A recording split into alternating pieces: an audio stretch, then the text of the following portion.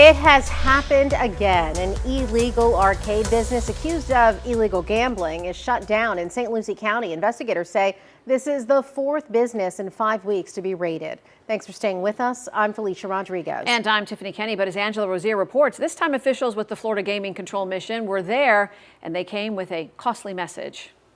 Well, this most recent bust took place in the shopping center just off of US 1. You can see some of the machines that were seized inside this building. The sign outside, though, it says sweepstakes, but the sheriff says what was going on inside was illegal. St. Lucie County Sheriff Ken Mascara is making good on a promise. He's been warning owners of illegal arcades accused of illegal gambling if they don't close up shop, the business will be shut down.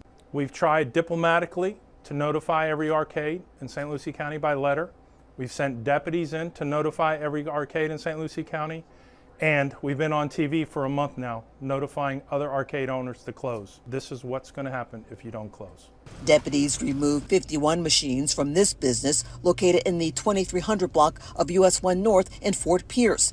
They brought with them the chief of law enforcement with the Florida Gaming Control Commission, who says violators could face hefty fines. The sheriff's office will store these machines. We will get with our general counsel's office and we're going to move forward in reference to administrative fines, which could total up to $10,000 per machine. They hope the announcement that illegal arcade owners could be fined up to $10,000 per machine will help convince them to close. There's only four, or actually four licensed facilities in Broward County and four licensed facilities in Dade County, as well as the casinos but run by the different Indian organizations.